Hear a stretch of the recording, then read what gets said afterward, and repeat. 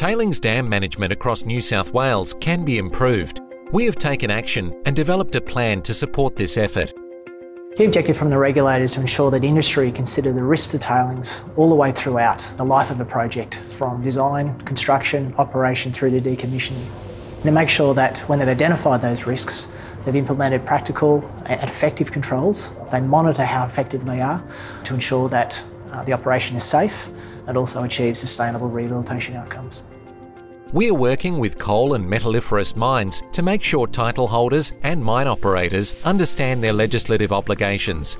Failure of tailings dams, or any types of dams for that, for that instance, can really be related back to poor management um, of the dam facility itself. Now, poor management can be in the form of lack of design, poor controls around construction, poor controls around operations and maintenance. With recent developments in the mining sector throughout the world, uh, there's been an increased awareness of the risks associated with tailings management and how we go about monitoring those critical controls and implementing them. Actively engaging with experts and the mining industry helps to identify knowledge gaps, share learnings, and promote innovations.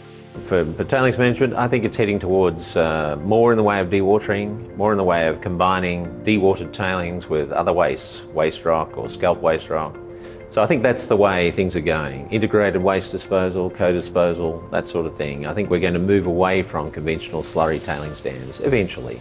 In managing tailings dams at Northparkes, one of the key challenges at the moment is that we have five tailings dams covering an area of over 500 hectares. So as we've increased the number of tailings dams on site, it means you've got to still manage the tailings dams that you started 25 years ago.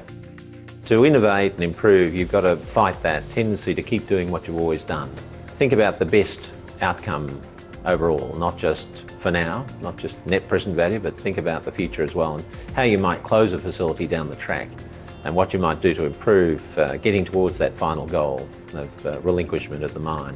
Getting the right people, industry experts, leading companies and our regulators together has shown that we can encourage dialogue and find ways to improve industry but also find ways to better communicate those things are working well and implement them across the sector.